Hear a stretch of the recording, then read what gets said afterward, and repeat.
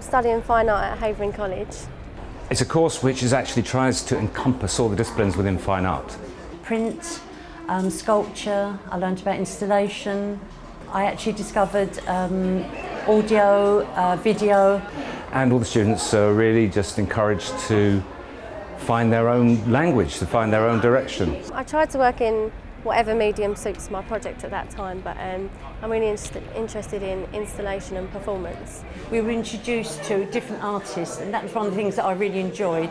The different artists would come in and talk about their work. I found that very informative, very valuable. One of the, uh, the, the main criteria of the course is that every student that comes onto it has the opportunity to work within their own space.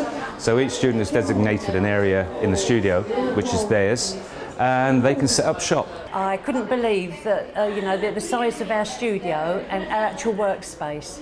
Um, I found the tutors to have been there all the time for us whenever we needed somebody. Really good. You always have a tutor there if you want to talk to them. Um, if you have anything dire, you can always um, contact them through email and they're always available. All the students um, during the course have the opportunity to, uh, I mean, visit galleries as we would um, in any other, uh, on any other sort of art and design course.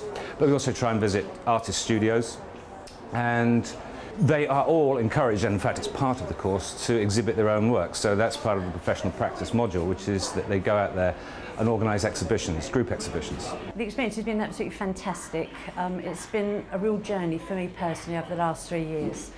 I've discovered so much. I love research, um, working with like-minded people, going to lots of exhibitions. Um, it's just been an, a, an amazing journey.